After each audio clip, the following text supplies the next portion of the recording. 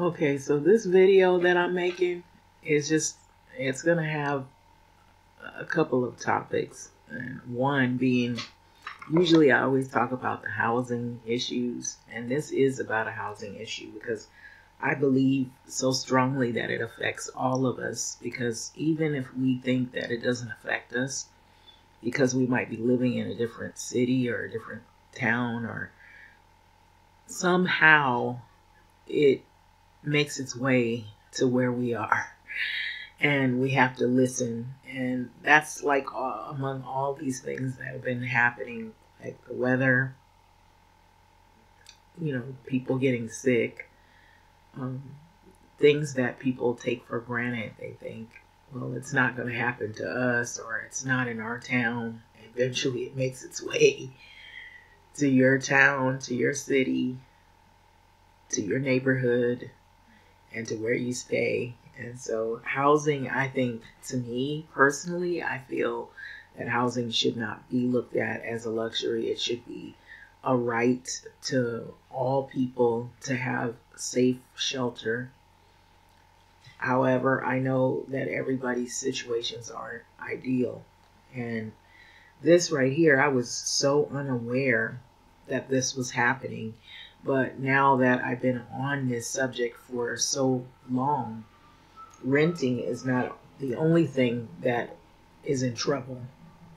Um, the rental market, but the mortgage mortgages are possibly um, in trouble. What I'm seeing is, you know, um, a lot of articles and I don't know if you've heard this or not, but they say that there is a mortgage crisis that is on the horizon. And so I took the liberty to look up a worst case scenario. So I believe these are questions people ask when things get really crazy in the economy, and that can affect millions of people so the question here, I'm going to read a few of these things before I start. Usually I, I find an interesting article that's among many articles that has to do with a specific topic. And so this one is still on housing, but it might be a, a mix of different things in there. You know, so I have to forewarn. So I guess these are questions that people came up with um, what happens to my mortgage if the economy collapses? Now, this is a worst case scenario situation if the economy was to collapse. So, this is what would happen to homeowners. Recessions and housing market crashes may cause your house value to decrease so, however, your set mortgage rates won't lower. They don't lower, meaning your monthly payment will get higher. It'll be higher than your home's worth. So, while many may dip into their savings to help pay their steep bills, others may need outside assistance. So, that's what would happen if the economy was to collapse homeowners would be affected. So, you know, a lot of people say, you know, people who don't have homes, they're going to end up not having any place to live. And there's a lot of things. Well, there's, from what I was reading, you know, there could be some other things on the horizon. So, what caused the mortgage crisis in 2008? So the growth of predatory mortgage lending, unregulated markets, a massive amount of consumer debt, the creation of toxic assets, the collapse of home prices, and more contributed to the financial crisis of 2008. And so these are questions, I guess, because there are some things that are happening on the horizon that they've been talking about. And so out of the Guardian. That's an article um, where it says this is ruining people's lives. Homeowners hit by UK mortgage crisis. So apparently something's going on not only here in the US but also in the UK. So now I'm also looking at something saying, now this is BBC News mortgage crisis. We can't pay an extra what looks like 1400 a month. So home truths, the crushing reality of mortgage crisis. And so this is ruining people's lives. Homeowners hit by UK mortgage crisis, they speak out. Brits are facing a mortgage crisis as lending rates are soaring. So this is what's going on in the UK. But I'm also hearing that this is something that could come down the pike and it might have already started, but it isn't being widely discussed here in the US. So, mortgage demand bumps up at 0.5%. Mortgage crisis set to deepen the interest rates hit with 5%. Um, it's just different articles that are starting to pop up having to do with what's going on here. What was the subprime mortgage crisis and who was responsible for it? So that's an article talking about what had happened here in 2008. And so you can look at that when you get a chance. And um, so I had ran across an article called Home's Truth The Crushing Reality of Mortgage Crisis. And so this talk is, is happening right now. And I don't think people realize it is something that could be on the horizon. So, Home Truths The Crushing Reality of the mortgage crisis, and this is by Kate Andrews. So you're really looking at a still photo of houses and and money and houses. and also I noticed that there's UK money in the background, so that's what right now they're faced with. And so here um, in December, I guess this this article is by a Kate Andrews, so this might be people's accounts of some of their personal experience with going through a mortgage crisis.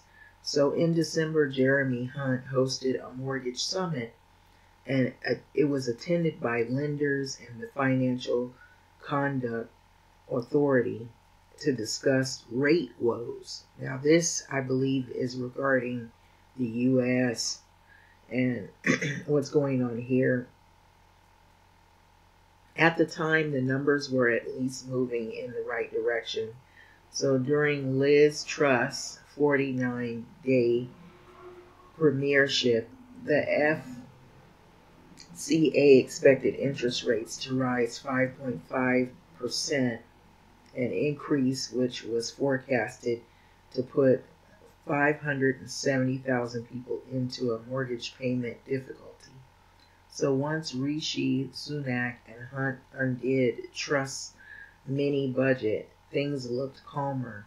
So 4.5% peak was expected and 356,000 people were due to be in difficulty. So Hunt was still struck by the figure, so horribly high, he thought. And so the chancellor used the meeting to lay the foundation for regulatory changes that could be used in the future to help struggling mortgage holders. So now, as the interest rates are expected to hit 6%, which would be the highest since 2001, the Treasury is working with lenders to consider repayment holidays, mortgage extensions, and moving more people into interest only payments.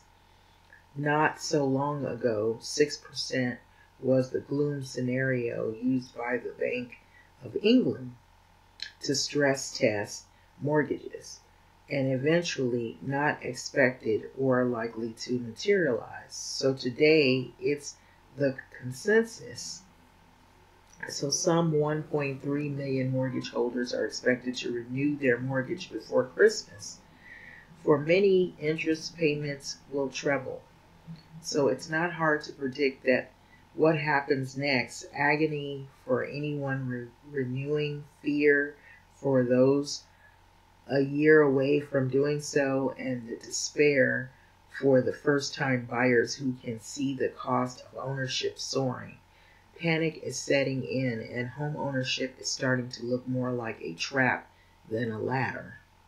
So I want to leave that that saying there that there are people right now there's people in homes who wish they could get out of their mortgage.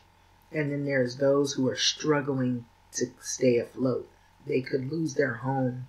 They're struggling to pay their mortgage.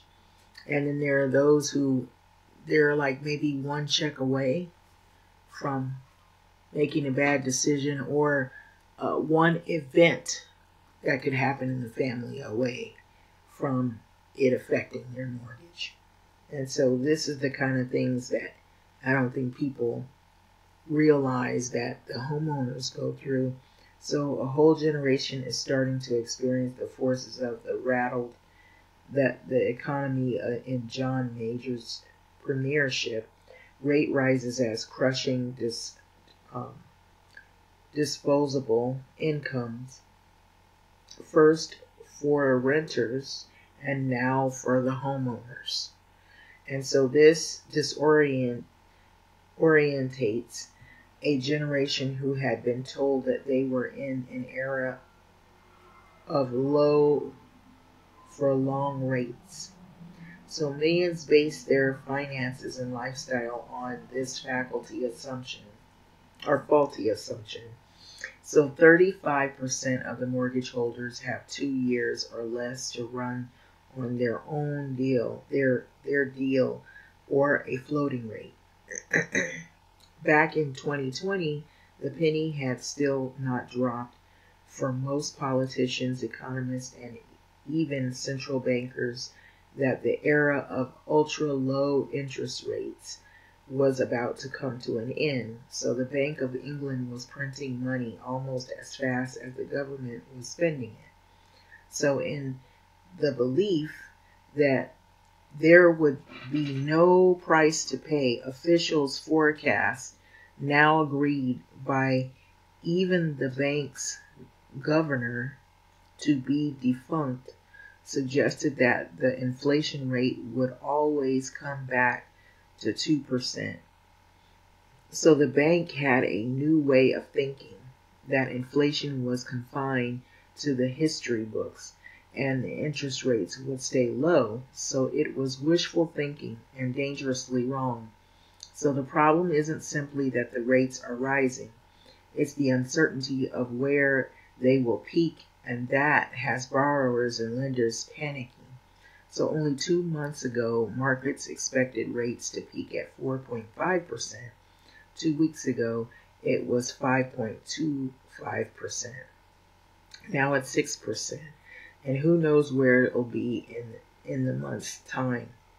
So the way they operate in Wall Street and the banks is everything is about money.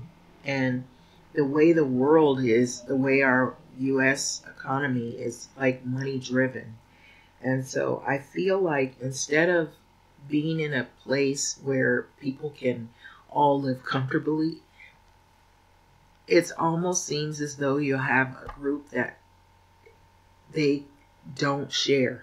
They kind of hoard their money and and and or they hide their money and find ways to not spend it and it doesn't generate in the economy and then you also have this low low wage paying uh, class of people who don't make a lot of money and, and they're struggling to keep afloat and then you got people who are in between. They're struggling and they're like maybe one or two payments away from a tragedy, you know. And so it it now we're getting to the point where there almost isn't any middle person or middle class. It's like you either have have the money, or you have the financial means, or you don't or you're you're barely making. You're just just making it, and the way things have been going, it seems like it doesn't stop. It never ends and it gets worse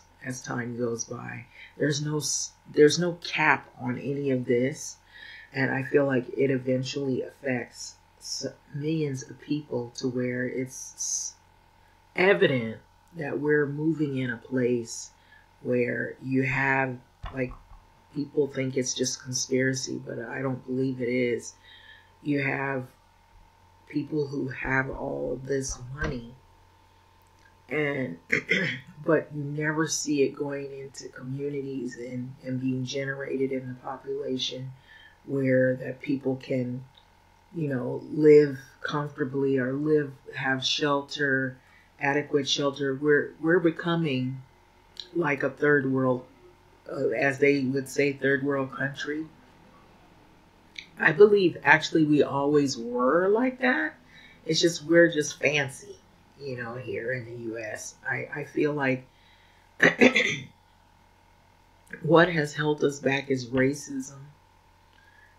As people, it's racism, hatred, uh, people who don't they don't want to help anyone else and they hoard money or hide money um, there's communities that are just crumbling and, and infrastructure that crumbles because people are not really doing the right things with the money they should be spending on, you know, schools in poor neighborhoods and poor communities, making more effort to build affordable housing. And then if there is housing already built, to make it affordable so that people can stay there and um, they won't have to feel like they have to be displaced and move all of a sudden abruptly.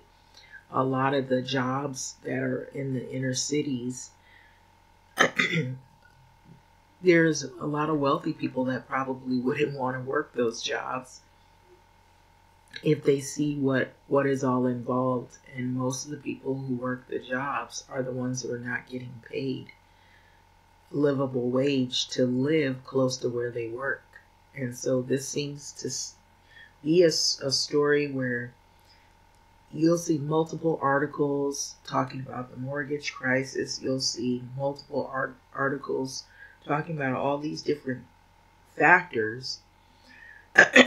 um, yet, I don't see anybody budging. And I only can say this I don't think it's going to get any better uh, before we see a lot worse. And I feel like a lot of this is coming because people just don't know how to get along with others and they don't have empathy for human life. And there's a lot of negatives at work here. And so, like we see on TV, people are arguing back and forth. They're on the campaign trail. It's an election year right now. It's Republicans versus Democrat, Democrat versus Republican, and you have all these people arguing back and forth about different hot button topics, but yet you still have crumbling infrastructure, uh, mortgage crisis on the horizon, crisis that are happening in other countries that are similar to what's happening here. I feel like it's a national problem. And the homelessness crisis, it's not just here, it's spreading. And I believe it has to do with greed. That's the other baddie that I think is going on is there's a lot of greed. There's a lot of racism. There's a lot of uh, hatred, there's a lot of greed going on. And I think greed is probably one of the next to racism is the top on one of the two tops things on the list. Um, and so I'm not surprised that there's a mortgage crisis happening because you know they try to not talk about it and they try to kind of smooth it over but when they had uh, the pandemic going on. You know, renters were not the only ones that had paused on their payments of rent. Mortgage uh, people were who had a mortgage paused on their mortgages. And I heard there was one bank, I don't know if it was Wells Fargo, they automatically had paused people's mortgages and someone was trying to get it reversed because they didn't want that at the end you owe all this money, you know, and you can't come up with it because you haven't been making any payments, you know, so that it just exacerbates the situation. So, what do you think about this? It just seems like it gets worse and worse and worse, and you see more and more homeless people on the street. It it just doesn't change. It gets worse and worse and worse, and so that's what I've noticed. Um, in terms of that, uh, I see a lot of building going on, but if those places are affordable, that's a whole nother ball game. There's building, there's apartment buildings going up, but I don't know if they're affordable. That's the thing. A lot of times they'll put these apartments up, and the developers they they have a great idea to to beautify a community with with new housing, but the housing tends to not be affordable for people that have lived in the community for a number of years. And so that's why you don't see people moving often. They stay put unless there's some kind of issue with their place where they live or they just, you know, have to relocate for whatever other reasons. But yeah, yeah, I'm reading this right here. I'm reading that the U.S. our mortgage situation isn't as stable as you know people think it is. Um, so yeah, I I I don't I don't see it getting any big um, you know, any better is what I was saying. I don't see it getting any better. So I was looking here. Okay, so there's so many articles I'm as we you know, looking a different kind of mortgage crisis. This is by Felix Salmon, and this is out of the Axios. So the two 2008 financial crisis was caused in part by mortgage lenders taking on too much risk, and now the pendulum has swung so far in the opposite direction, direction that the private sector has all but ceased taking on mortgage risk anymore. So, why it matters, private sector risk aversion was prevented and has prevented millions of Americans from buying houses. So it is also driving banks out of the mortgage game. So that might be okay if the non banks weren't disappearing too and unlikely to return anytime soon. So, flashback banks paid more than $100 billion in mortgage related fines after the financial crisis. So, a stark reminder that such activity can prove extraordinarily costly. So that's also uh, alongside of the more stringent government rule about how much capital banks need to allocate to such activity has resulted in what one banker described as in Axios as a de-risking in mortgage lending. So they go into how it works and about banks retreating. So most mortgage lenders they make money in two days. So or in, in two in not two days but two ways. they have it here listed how they make the money in two ways. So after they originate a loan, they hold it on their books for a relatively short amount of time before selling it to the government. And so either directly by the Federal Housing Administration and Department of Veterans Affairs both buy mortgages or to agencies like Fannie Mae and Freddie Mac. After the second way is after selling the loan, the originator generally continues to service it to collect mortgage payments and send them on to the loan loan's new owner. So servicing fees are low, so generally about a quarter of a percent and servicers need to make the payments even if the homeowner is in arrears. So it go into more detail about banks retreating and why it's so hard to qualify for mortgages. It also goes into that. And so I know a little bit about that. Um, actually, I know a lot, a lot about it. but um, what I know so far, it doesn't look good the way things are going. You know, I feel like you know, it's gotten to the point, you know, I was listening to someone was saying, he said when he first came to the city he was moving to, he said he put down 30,000. The house was, was worth 30,000. And he said, now that's what you got to put down on a house. And he said when he came along and, and they, him and his wife decided to get into the home owning business, they only needed 30,000 for this this home, but now that's what you know, a lot of the homes are so extremely expensive that that amount of money that his home was worth back in the 90s, the 80s, I think he said it was actually even before the 80s. So yeah, it would be 30,000 seemed like a lot back then. But now you'd only wish you could find a house for 30,000. That's how expensive things have gotten. And so I don't know that it's going to get any better.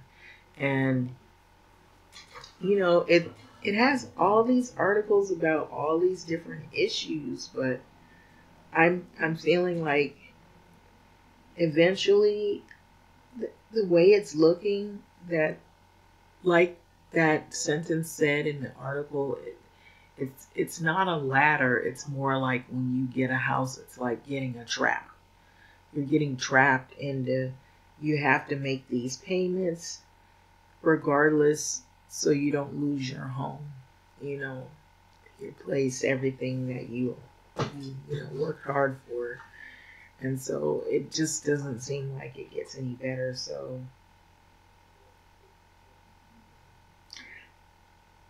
when you uh, become a homeowner, you're you're having to watch all your spending. I mean, you can't really just spend money on just any anything. You have to be very careful about how you you spend money, and you should be careful even before becoming a homeowner. You should be like that, but it you feel more like you're more trapped when you're a homeowner. You feel more trapped, like, okay, I can't buy this right now. I gotta wait to buy this, you know. Um, but you don't have to be a homeowner to, to feel trapped with bills. So, but I feel like you automatically off the bat you you feel the trap trapping because you're taking on a loan which a loan you have to pay back and most homes to in order to qualify. It used to be they made a big deal about your credit, but now they've kind of pulled back some of the layers of those regulations, and it's more about your debt to income ratio. Uh, what kinds of debt do you already have before you become a homeowner? And then the other thing that they look at is how much are you making are you making a good salary? What do you make a year? And so, based on those things, they just want to know if you're able to, to cover the mortgage every month comfortably and not be straddled with that mortgage payment and and the uh, mortgage burden. Um, much like how renters are rent but burden, you have a lot of the renters who they they're in their unit but they could be one or two checks away from struggling, if not already. And so, um, when I saw it say mortgage crisis, it mentioned more about the UK, but I I do see stuff happening that it here, you know, would be uh, a problem.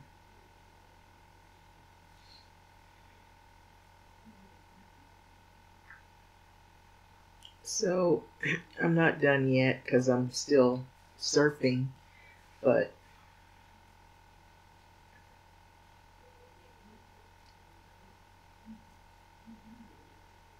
it almost looks like too that um, we might still have people that are um, not being honest and they're doing things that could create 2008 to happen again, but even worse. And so I think because there was a pause on rent, that that's why their evictions have skyrocketed. Um, I believe there was the pause on the mortgage payments, so foreclosures could happen.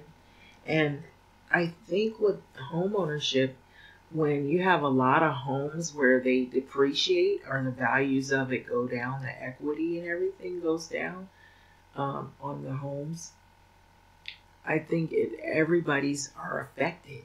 You know, like like look look at Detroit, all those empty abandoned homes because the people don't see how everything connects, how the people don't have the jobs that they had before and they lost the, uh, most of the things that were value to them and you see all these boarded up homes where people can't stay. Uh, the neighborhoods are, are in blight. And i feel that's what happens when people are disinvested in communities and they pull their money out of the housing the schooling the um, higher learning education institutions and they just move it elsewhere and they just don't have any care for those neighborhoods or those communities. And you have to fundraise and find other ways to get money into the communities because you just have people who just don't care. And all they care about is themselves or what's happening um, among them uh, in their circle. And they don't help others. And so that's why you see you can see some communities they're either abandoned or they're really really in need of repair.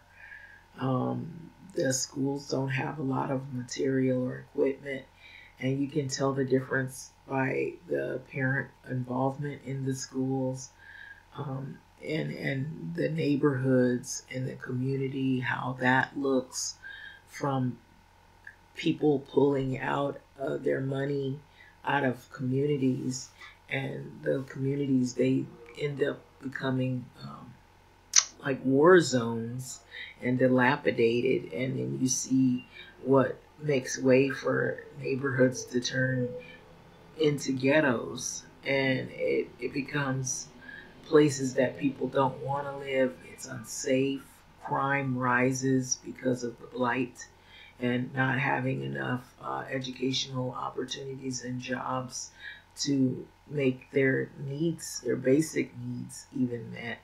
And so that's, I believe, could be exacerbated in the near future because of the way money is not being handled well.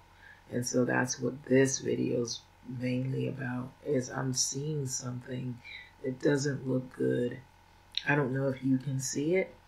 And it's not, it's, you know, this, it's not in just this photo. It's like, is this photo is just a still photo. It's just uh, the idea that you see the, how any community could go through this if you have people who decide to pull out of those communities and disinvest in those communities that they could just crumble. And I think what happens is it can become like a wasteland, you know, where you have all this despair, this crime, and what wealthy people tend to do or wealthy communities they wall they make big walls or fence or secluded neighborhoods or communities where they keep the poor and the impoverished people out. And I could see that happening in um, a dystopian future of people who they don't have any empathy for those who have been evicted, families that go without, don't have food, and they don't have anything to eat, um, a place to live. You, you can see all these tents, more and more homelessness occurring, people falling into homelessness, or they're working more jobs than they should just to just to feed themselves. And it's this is the way the world is starting to look i think all and throughout. Just some areas some places it's happening faster than others. And i think it's only a matter of time that when years go by you're going to see a change and it isn't for the better. And that's what it's starting to look like. You know they're already talking about changing the cars and you know you got to get a smog check. You got to pay for registration. You got to pay for auto insurance. Then you got to pay a car note. Now you're talking about getting a brand new car with all these features all this stuff in it. And you know what you don't have to get but you know you're going to get it because how can you drive if you don't have certain basic features in the car and so now you want us to get this car that it's all electric, which is going to be a lot more expensive to fix, and the parts might be expensive to to replace if it, something needs to be replaced. And then these cars are not non-gas cars, so that's an extra added expense because the car is an EV car. And so in 20 the year of 2030 is what they want to stop all the gas cars, all these cars that all of them do is take gas. So all the gas stations are going to probably change to EV stations where that you go and you charge your car up. And there's working on trying to make the charging faster because sometimes you got to have the thing plugged in all night. It's just like having driving a giant cell phone it has to be charged up if you want it to work. And uh, if it isn't charged up, then it's dead. It won't work. And then the cars don't go as far because they need a certain amount of uh, electric, you know, fuel to to to be able to make their trip. Um, and so you can only go a certain distance in those cars, is what I've heard. And this is changing rapidly. And people don't see it right now because it's not in their face. But I see it and it doesn't look good. And I feel like they have the short term. You ever heard of the short term rentals? You live there only for a couple of weeks, a couple of months. What families can live like that? You know? But they've they've marketed on short term rentals just like they do the Airbnb. And so now it's it's just starting to get to a place that is uncomfortable where just to have your basic needs met you got to be making a certain amount of income just to be able to live in a, a place where you feel safe where you can sleep at night, where you can get up and you know clean up and then go to work the next day. You, that's becoming a luxury now. It's it's gonna get to the point where that even just having a basic place to live is gonna become a luxury. That should make people worry to some degree because it says, What have we not done right? What are we doing that isn't helping? And I don't think people realize that greed has a lot to do with what's going on as well. That you have a select group of people who are making decisions and it affects millions of others. And it doesn't always affect you in the right ways. It affects you in the wrong ways. And so, whenever you see this much of homelessness, and it just seems to increase, and when one person is trying to correct one problem, and then another problem crops up where you have hundreds of people being evicted, all because the building owner wants to put in a new sprinkler system. Tell me that you don't see something wrong with that. There, that it greed isn't isn't in that picture. It is. You know, if they can get rid of all these people and then make the building market rate adjusted where all of the apartments are now they're not apartments, they're luxury condos. And then you jack up the price and make it so high that even the regular people who used to live there can't even move back in. And that's what that's the way these things are are you know, I've been seeing in um, seeing it in the articles, seeing it in the uh, news feeds. It doesn't look good. I don't see this getting any better. And if people pretend and ignore long enough, it will be in your community, it will be in your neighborhood, and you will have to face something like what we hear the UK is faced with, and what I feel the US. They don't talk about it, but I think we are going to have we are in a housing crisis. Housing, not only housing shortage of supply, but a crisis where it has to do with just not people not helping, people not giving people the opportunity to be able to afford a place that's livable, to be able to live where they work